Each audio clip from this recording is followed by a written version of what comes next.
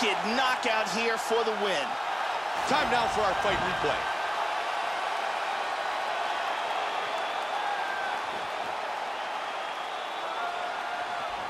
Let's see it again.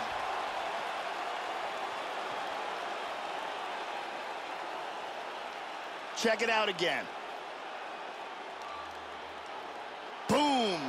And that's all she wrote.